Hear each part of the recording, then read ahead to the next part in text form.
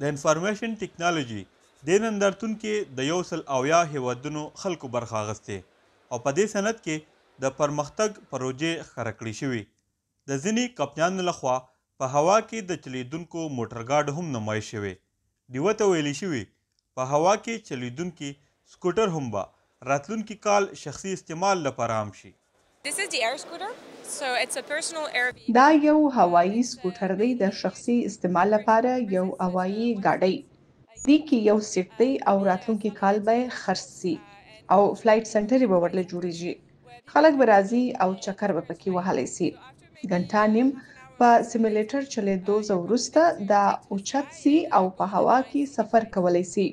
د پاکستان لخوا هم دې نندارتون کې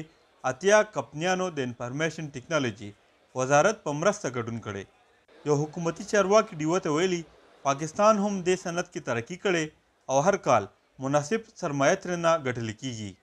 پاکستان چې کوم ده هغه داسې ملک دی چې چته کې آی ټي انډسټري د پر ډیر زیات پوتنشل ده موږ یو میلیون انول ګریجویټس دي او 75000 غو کې چې کوم دی غا آی ټي ګریجویټس دي غنه علاوه موږ لوکیشن داسې دی چې موږ اولډ ورلد چې کوم دا غو کې درې شفت کو زیات دوا شفت خلک دي چې کوم پورا اولډ ورلد سیدنی نه لندن پورې کیټر کاوه شي د یو بل حکومتي چارواکي په وینا، متحده عرب امارات په دې میدان کې د پاکستان دریم غټ ایکسپورټر دی او دوی تمه لري د تېر کال نه به سږ کال دوی په دې نندارتون کې زیات لاستیکونه ترلاسه کوي. تېر کال موږ دې ایونټ کې پنځه شپږ میلیونه ډالر MOUs او کنټریکټ باندې لاسلیک کړي او سږ کال زموږ هڅه ده چې دغه دوه چنده یا درې چنده سېوا کړو ځکه چې دلته په راتګ هم موږ ډېره خرچه کړې. د آی ټي د پرمختګ په اړه ډیوه ته ویل شوي، زیاتره زده کوونکي اوس دا سبک وايي، دوی ته کارونه هم زر میلاویږي او د ازاد کارونو خلکو کې هم د دوی شمیره زیاته ده.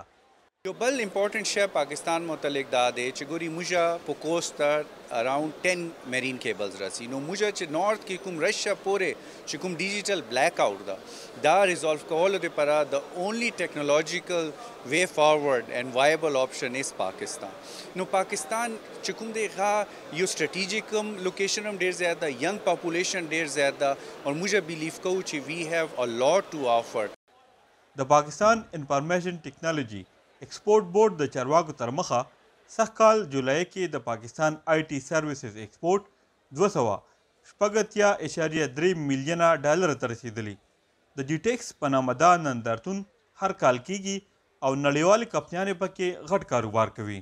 عرفان بهادر، وایس اف امریکا، ډیوه، یو اې ای.